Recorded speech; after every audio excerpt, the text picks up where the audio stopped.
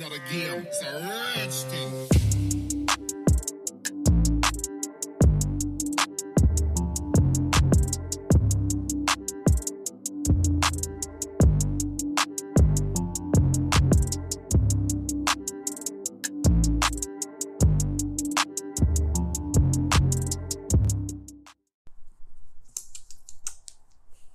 Cześć i witam Was z mojej oazy kreatywności.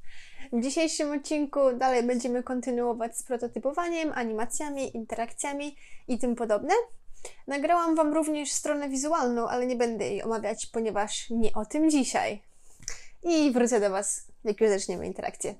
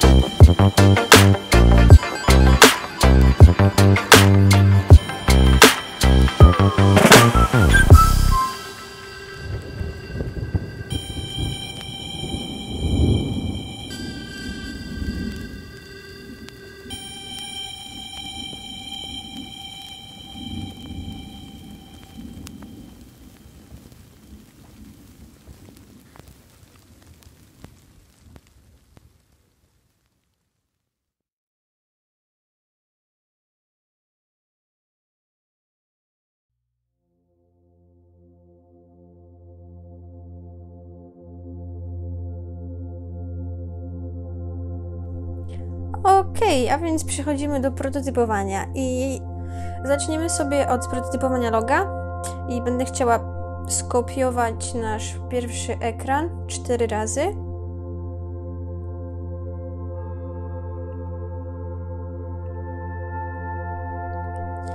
Następnie usunę wszystkie elementy z ekranu pierwszego i z ekranu drugiego, zostawiając tylko i wyłącznie logo.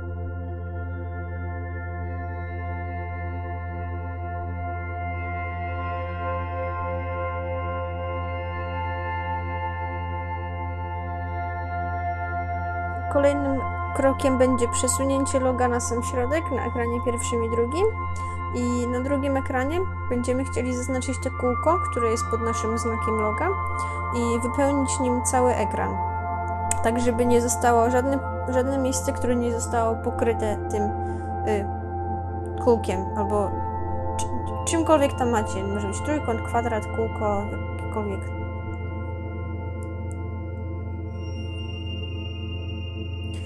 i następnie przejdziemy do zakładki prototypy. Będziemy chcieli zaznaczyć cały ekran, czyli ten cały artboard. Tab, czyli naciśnij Animate, Ease In and Out i tutaj sobie zrobimy 0,4 sekundy i tak samo możemy zrobić od razu z następnymi ekranami, czyli ekranem trzecim i czwartym w naszych interakcjach. Następnym efektem, jaki będziemy chcieli uzyskać, to będzie yy, tak jakby wślizgnięcie się produktów, żeby on się pojawiał z z prawej strony i trochę z dołu. Czyli aby uzyskać taki efekt, a tutaj trochę jeszcze to kółko nie wyszło, ale to już tutaj naprawiłam. I aby uzyskać taki efekt, zaznaczymy sobie ikony nazwy kategorii oraz karuzelę produktów i przesuniemy wszystkie te elementy do prawej strony.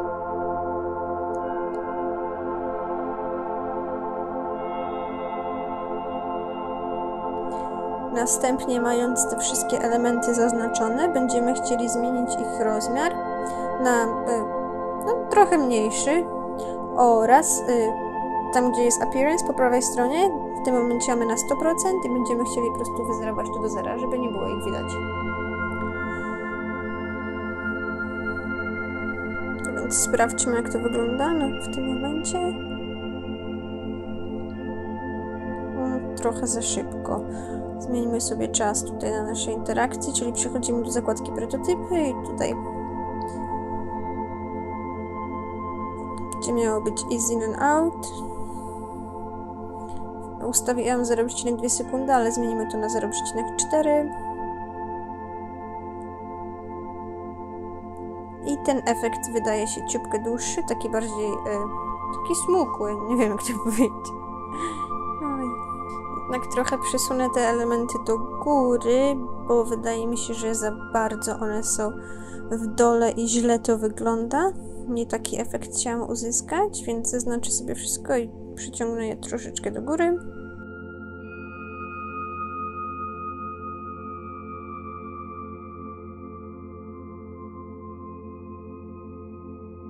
Myślę, że jeszcze trochę za szybko ta animacja jest. To powinno być bardziej takie smooth, no żeby to właśnie lepiej się animowało, bo tak wygląda to za szybko, y, za gwałtownie, więc zmienimy sobie jeszcze tutaj czas naszej animacji na trochę dłuższy i następnie będziemy chcieli zrobić karuzelę naszego produktu, czyli skopiuję znowu nasz ekran. I tutaj wydaje mi się, że miałam skopiujemy go dwa razy żeby mieć karuzelę w pozycji 0 i karuzelę w pozycji 1, czyli po przesunięciu. I tak mi się wydaje, że zrobiłam tylko dwa, dwa produkty, więc dodam jeszcze sobie trzeci. Zmienię zdjęcie i nazwę. I jeszcze jeżeli dodajemy jakieś elementy, które wychodzą nam poza nasz adboard, to fajnie jest sobie po prostu zgrupować, żebyśmy wiedzieli, że one są jakby w jednej grupie, bo inaczej to już nie będzie w naszym artboard, tylko będzie w pasteboard, czyli w, w miejscu, gdzie kopiujemy rzeczy i je wklejamy, więc to będzie poza.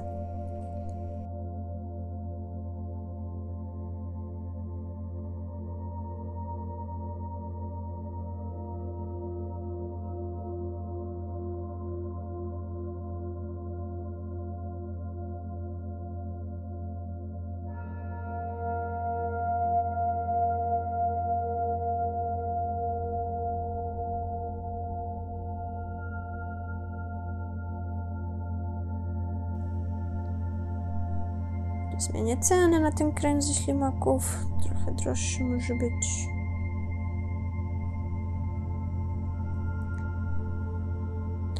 Ok, więc zrobiłam trzy produkty tylko w jednym, to usunę i skopiuję sobie szybciutko.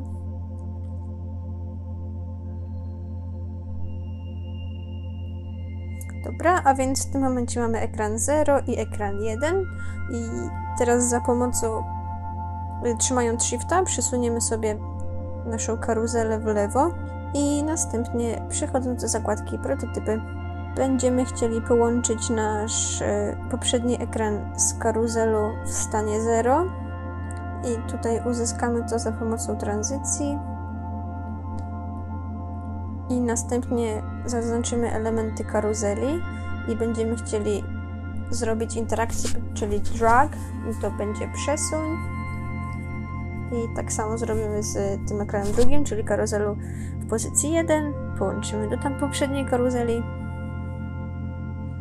Ok, sprawdźmy jak to wygląda. Przysunięciu. Dobra, działa. Więc karuzelę już przerabialiśmy, ale to jednak fajnie wygląda, więc warto było jeszcze raz to uwzględnić.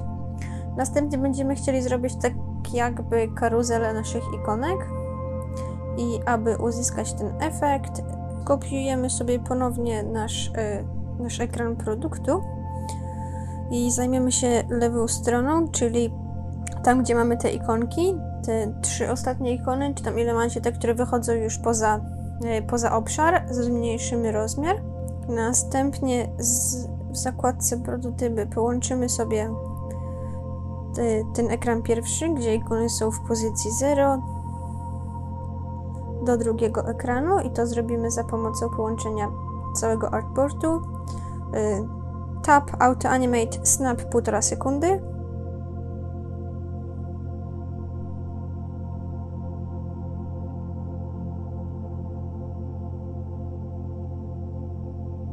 Okej, nie przesunęłam ikonek. A więc przesuńmy ikonę i sprawdźmy, czy to działa. Sprawdzamy.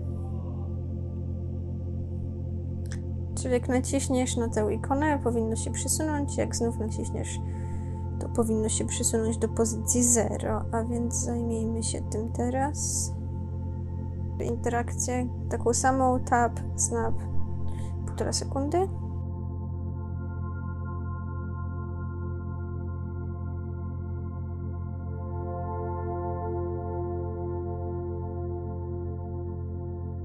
Jeszcze zamienimy, żeby zamiast y, z całego artboardu nam szła interakcja, to tylko z ikon z ekranu pierwszego, czyli jak naciśniesz tylko na ikony, to powinno się przesunąć do drugiego ekranu i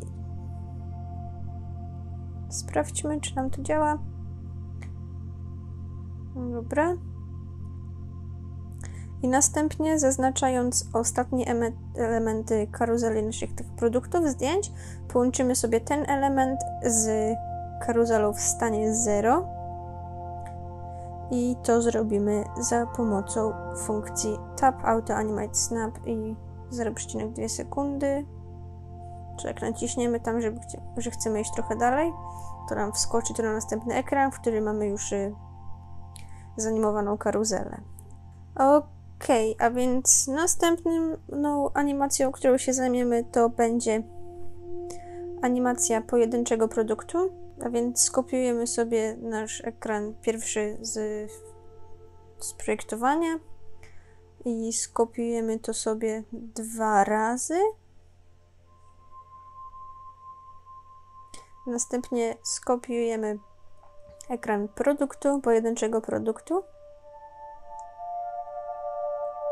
Również dwa razy. I ja będę chciała uzyskać efekt, który e, wypełnia się białym do góry i potem e, ten produkt się jakby suwa do dołu. Tam, gdzie miałam na dole menu ten biały prostokąt, przesunę go do samej góry, żeby wypełnił całe miejsce, nasz cały ekran. Następnie tutaj, co mam wszystko pod nim, będę chciała, będę chciała zrobić niewidoczne i na następnym ekranie zrobimy sobie niewidoczne wszystko oprócz y, tego białego elementu oraz y, beżowego. Właśnie nie będę chciała uzyskać, że to idzie do samej góry i potem to się zsuwa w dół, więc po prawej stronie jest appearance, zmieniamy wszystko na, biało, y, na niewidoczne, na 0. Przesuniemy te białe tło oraz beżowe tło do góry.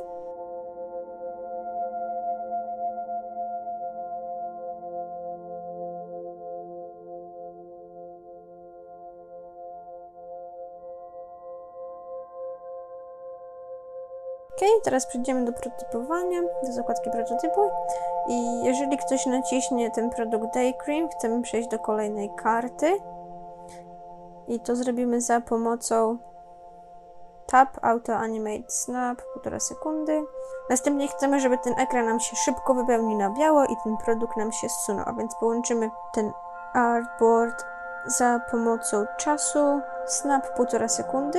Tak samo zrobimy z następnym i z następnym. Dobra, sprawdzam jak to wygląda, czyli naciskam Day Cream, wypełnia nam się na biało i ten produkt nam się zsuwa.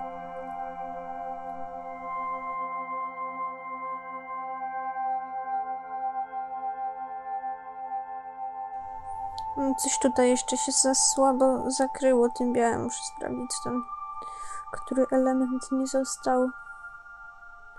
Przesunę tą warstwę na samą górę, żeby się upewnić, że wszystko zostało zakryte. Sprawdzamy. Mm. No, już to lepiej wygląda.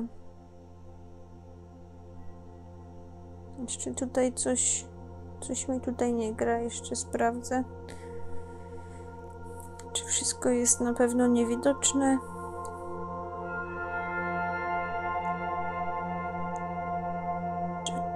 Coś, coś tutaj mi się jeszcze nie podoba. Jeszcze tu posprawdzam, czy na pewno się wszystko zakryło. Tak jakby te czarne ikony zostają sekundę w tle. Mm, Wydaje mi się, że one są za wysoko w tej hierarchii.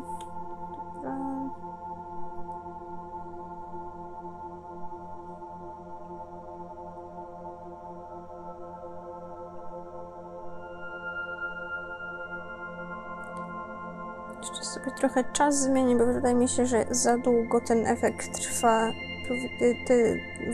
Pokrycie białym powinno być takie krótsze, bo głównym, główną animacją tutaj będzie ten zjechanie produktu, a nie wypełnienie się na biało.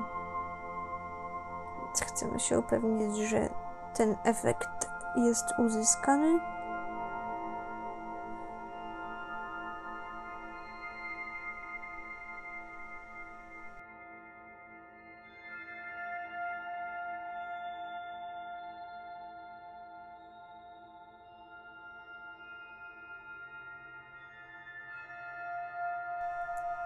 Tu jeszcze przesunę trochę bardziej do góry, tak żeby to było praktycznie niewidoczne, żeby tak sobie zjechało od samej góry.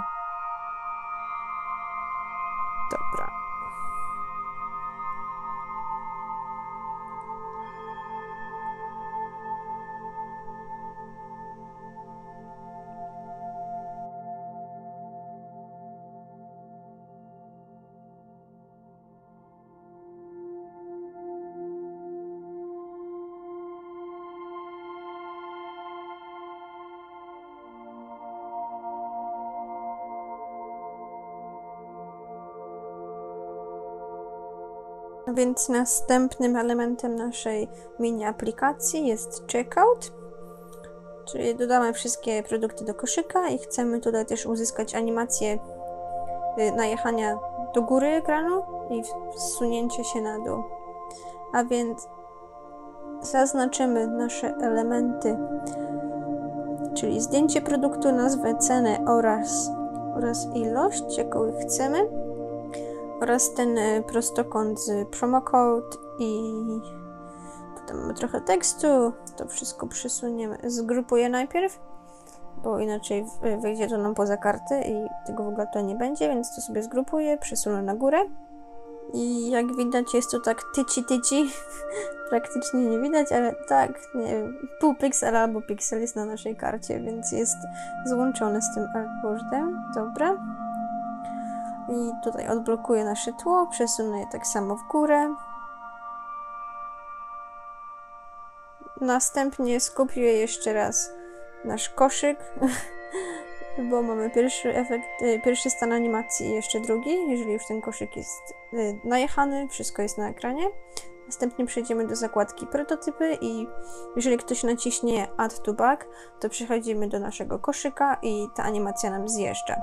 Więc y, z tego przycisku przejdziemy na ekran, jedna interakcja i potem z ekranu na ekran druga interakcja. Ostatnim elementem naszych animacji tutaj będzie y, ekran thank you, czyli wszystko się wypełni. Jeżeli ktoś naciśnie przycisk continue, to wszystko się nam wypełni tym kolorem, jaki jest przycisk. A więc po prostu powiększę ten przycisk, żeby on wszedł nam na cały ekran, pokrył wszystko. Oczywiście przesunę go do góry.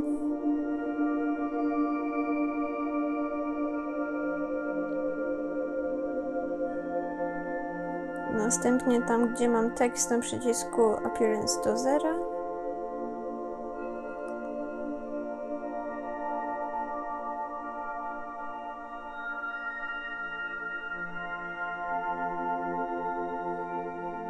I napis thank you, trochę zmienię czcionkę.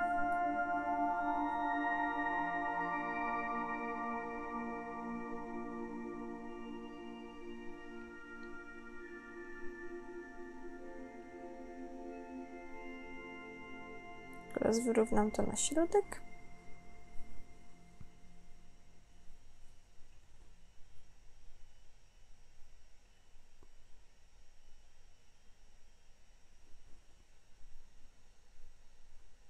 Następnie przejdziemy do zakładki prototypy i właśnie jeżeli ktoś naciśnie ten przycisk, czyli to będzie funkcja tab, przejdziemy sobie do następnego ekranu. Ok, sprawdźmy. Ok, wypełnia się, ale jeszcze wszystkie elementy, które są pod nim, są widoczne. A więc szybko to zmienię i zrobię tam, gdzie jest appearance po prawej stronie, wszystko na zero. Nic nie będzie widać.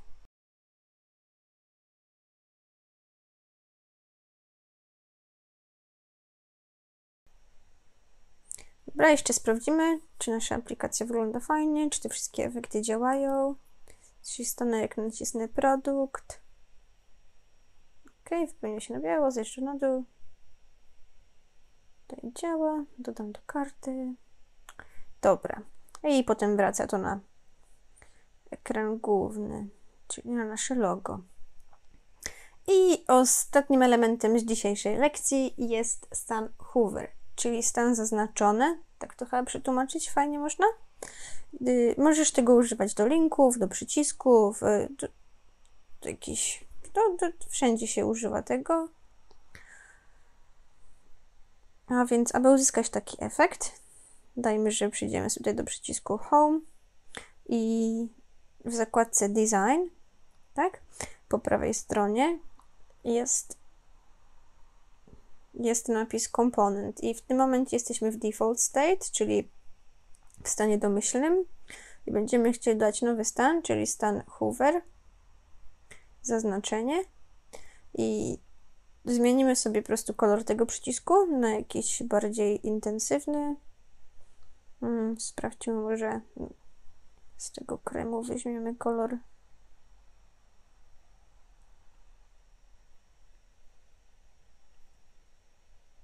Ok, pokażę Wam jeszcze na kilku przykładach.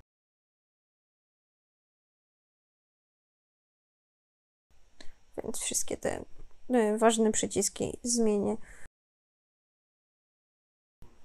zmienię, żeby tam się stał hover state po, naciś- y, po najechaniu myszą.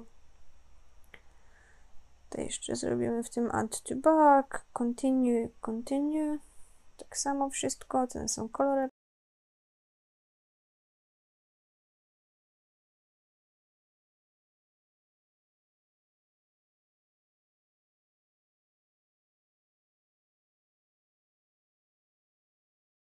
No i tutaj jeszcze możemy sobie na końcu zrobić, y, na tym, na tym ostatnim ekranie, jeżeli ktoś naciśnie Continue, to żeby już ten kolor się wypełnił ten, jaki jest y, na Hover State. Czyli jeszcze sobie to zmienimy.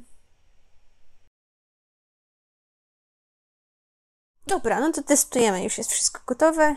Sprawdzamy nasz finalny produkt. Co tam jest? Tutaj działa, tutaj działa.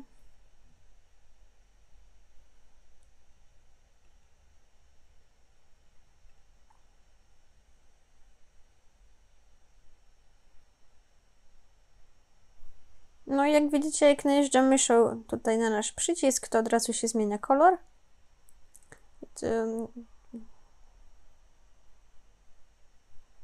Ok, za każdym razem działa tak jak powinno. A więc to by było na tyle w dzisiejszym filmie. Dajcie znać w komentarzach, czy Wam się podobało. A następny film, jaki wyjdzie na kanał, to będzie kontynuacja, jak projektować stronę i zajmiemy się głównie wersją mobilną tym razem. A więc do zobaczenia.